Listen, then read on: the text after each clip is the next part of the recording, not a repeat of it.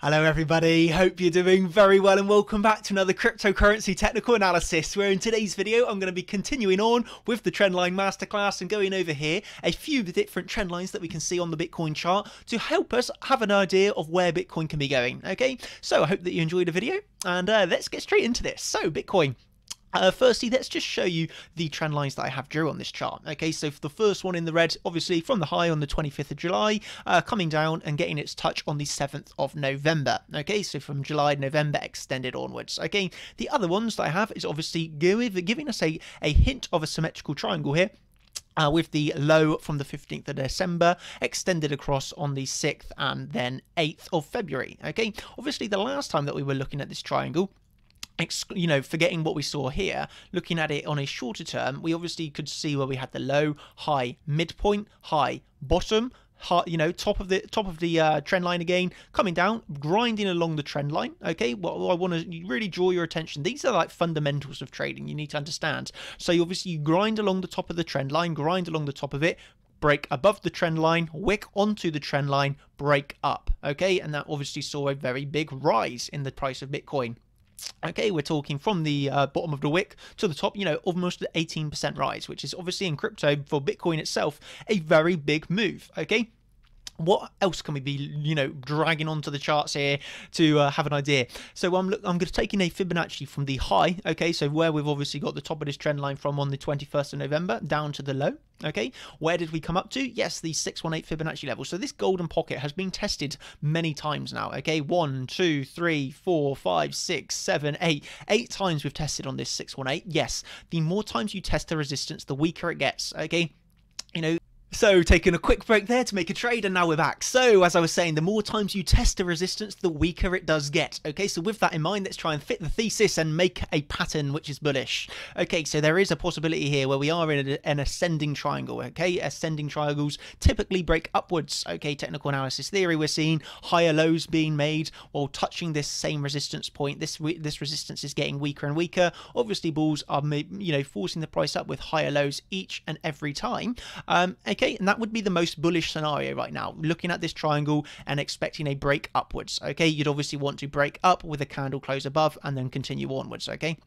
Um, so that would be the bullish scenario. As you all know, I'm not trading this bullishly right now. So um, I have this, you know, scenario in mind that we break upwards here bullish, but I see there's so much liquidity to the downside. Okay, looking here at the higher lows. Okay, obviously the original low, then we formed a higher low, higher low, higher low, higher low, higher low, higher low. And if you look really closely, this is literally $8 difference. That this low here was um, $3,742. This low here, $3,750. So this is a, a, a higher low here, a slight margin, but you've got another higher low here.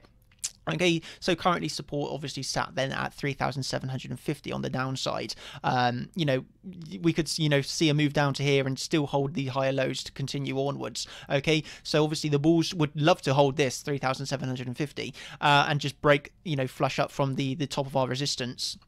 Okay, but even if we were to sh- fall down short term, then we could potentially form another higher low here before, you know, continuing sideways. You know, typical Bitcoin will probably end up ranging a week sideways uh, because that's literally what seems to happen. You get a big move, then you, uh, you know, you move sideways. Maybe we'll you will come down with a come down with a wick to get everybody out of the move, continue sideways, go up because that's been typical fashion. Wicks down, coming along, wick down, coming along, you know, and just getting everybody out of their positions, but still holding the lows. Okay, so a real big telling tell telltale factor would be if we break these lows, then you know you could expect more downside. So far, over the last you know uh, well, on a larger term sort of time scale, we haven't broke the higher low um, structure so far. Okay, this is just obviously the low, high, higher low from this point. We haven't broken it. Okay. So that's an important metric that I am 100% trading from. Um, but yeah, I still am trading this bearish, but don't get me wrong, I'm aware of the bullish, you know, case here. But for me, a lot of the alts are looking very topish. Uh, what do I mean by topish? That they're facing major resistance levels um, and obviously starting to see, you know, some downside. Obviously, Litecoin today looking, you know, reaching a, reaching a high, taking out resistances but ending up just closing straight down below. Okay, so this is what I mean, where you get like a you break resistance by a wick and then you end up closing down. But again, on Litecoin, really, although this is bearish, on, on like on an intraday, you know, I was shorting this today, uh, but this is on a day trading, you know, on a on a day trading, you know, sort of scalping scenario. Yeah, you'd be happy to trade a swing failure like this. But when you look on a larger term time frame and you just say higher low, higher low, higher low, higher low, higher low, higher low, higher low, you know, with not until you break down from a higher low structure, then you know you wouldn't be looking for well, maybe you would, but you know, um, it's obviously more risky until you break down from somebody's higher lows. Um, then you know you have the potential of you know coming down again, holding another higher low, uh, and then before you know potentially come up again. So yeah, there's definitely short positions to be had without a doubt, and I am taking shorts on Bitcoin. Um, but to be honest, of the of them all, Bitcoin is looking the you know looking the greatest. Uh, obviously today we're start, kind of starting to form a doji candle here. Okay, probably going to end in a doji more or less, um, you know, depending on how the rest of the day goes. Obviously, we've still got, what is it now, half five, so we have a few more hours left of the day, just a few. Um, and then, you know, we, we're looking to see how this daily candle closes, but it's probably going to end as a doji candle, just that indecision, okay? You can tell that there's indecision in the market. Um, what I found hilarious is that today, uh, waking up and looking at Twitter uh, and seeing these sentiment flips. Okay, this is this is shocking, absolutely shocking. You see moves up of a few hundred dollars, everybody turns bullish. Okay, you see a move down today of about you know fifty dollars, and everybody is turning bearish. You have people flipping and flopping, bullish, bearish, bullish, bearish every single day. They've got a new opinion and a new chart out. They've got a new Elliott wave count going on of, of fitting their bias, um, which I found absolutely staggering. That this this is you know, not you know, not necessarily small accounts either. Some big accounts that just uh, flip biases every single day. Um, it's absolutely astounding, and I, I honestly think they're probably not actually really traders, and they are just uh, using the hype, hype of Twitter. You know, uh, CT Twitter. But I'm not going to uh, comment more on this. But you know, it's just astounding how people can you know change sentiments so quickly.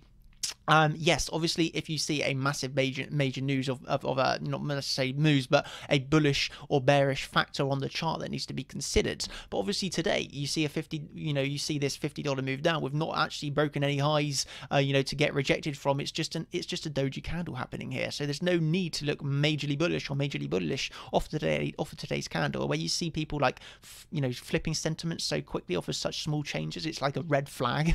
um, you know, just think to yourself, you know, what sort of trader are they if they're changing sentiment so quickly off of a doji candle? But um, regardless, anyway. Um, what I want to digressing, digressing, digressing.